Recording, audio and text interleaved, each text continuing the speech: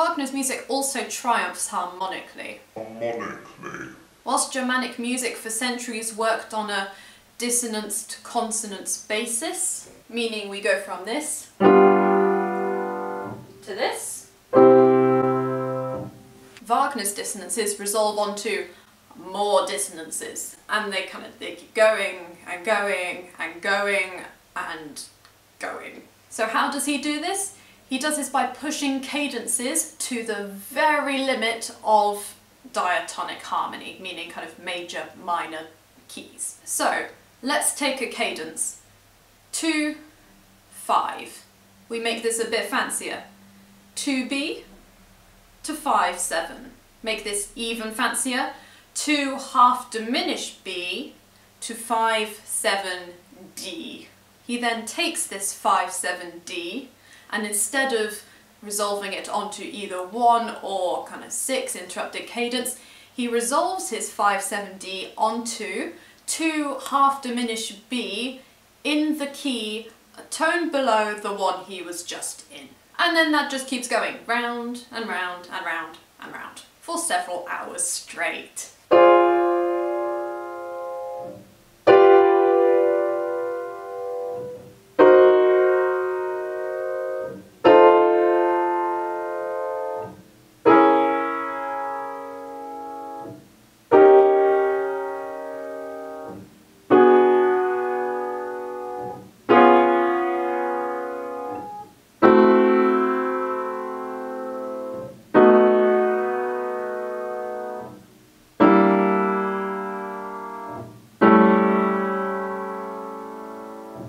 Then we're back to which is where we started. Up here. So notice how the outer lines are moving down in whole tone scales. We've got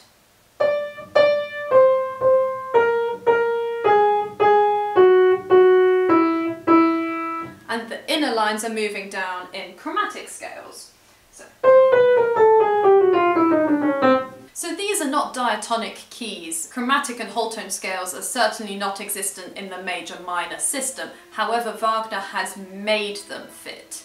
I think it's less kind of he chose whole tone and chromatic scales and kind of forced them into major minor keys and more he was pushing major minor keys to the point of like it's so tense at this point it's only just in major minor keys that he's that what's coming out are chromatic and whole tone scales. Later in his life in 1872, Wagner moved to Bayreuth. It was here that he created a pilgrimage site for his own music. He kind of thought he was like the reincarnation of Jesus, that's somewhere in another one of his essays.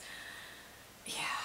It was here that he designed his own concert hall and built it, especially for housing his operas, namely the ring cycle. One of the weirdest features of this was that all of the seating, the tiered seating, were all these really, really uncomfortable hard wooden benches and they were deliberately uncomfortable so that you wouldn't fall asleep. He also finally married Liszt's daughter Cosima after several years of kind of dating and having three children. Cosima was technically married to another man at this point, which is why they didn't technically get married soon, although they'd lived together for a long time. Wagner and Liszt had been good friends up until this point. However, Liszt wasn't particularly happy that he was kind of dating his daughter. Anyway, Das Rheingold, Die Valkyrie, Siegfried and Götterdämmerung were premiered and were actually very popular in the kind of nationalist audience that were going around and listening to these kind of things. The audience loved Germany and were happy that these new operas really celebrated German and Nordic culture, along with folklore and music. It is no surprise having looked at Wagner's work, both his kind of slightly potty essays and his music in this great big manner that he became a great inspiration to Adolf Hitler. As a young man, Hitler attended Wagner's operas and he went to Bayreuth to the pilgrimage site and he absolutely loved it. So much so that supposedly during the war Hitler would take all of the Nazi troops to Bayreuth and make them sit on those really hard wooden seats to watch the operas and get really kind of um, patriotic towards Germany, so they are kind of fired up before being sent out into battle. Wagner's anti-Semitic essays were spread far and wide. Whilst I'm certainly not saying that if Wagner had kept his mouth shut and his grumbly rants to himself that World War II wouldn't have happened, if Wagner didn't write those essays and kind of inspire Hitler in the way that he did, someone else would have.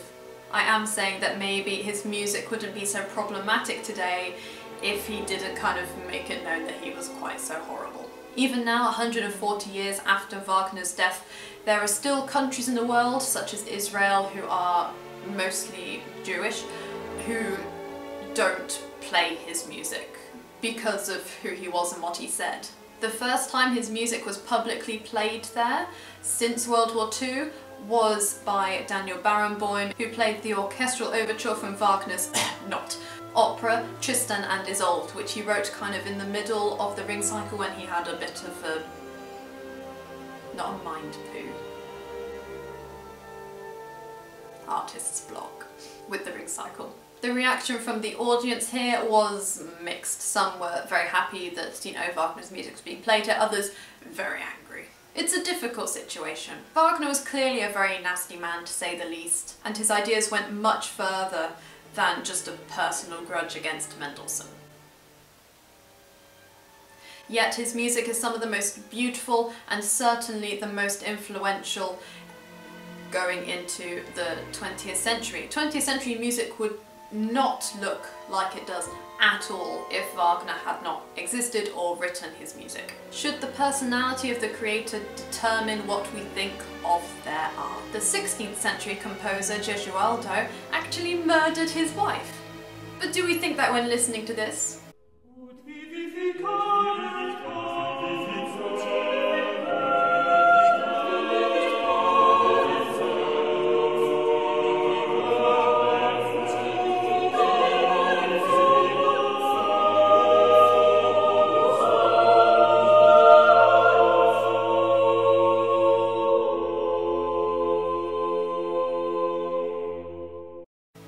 Not really.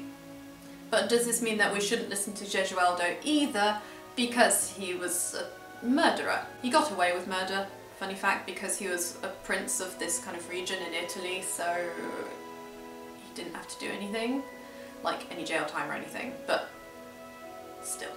And Berlioz was a bit of a stalker. The list goes on.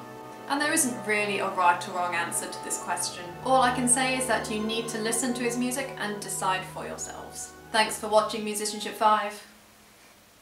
See you later.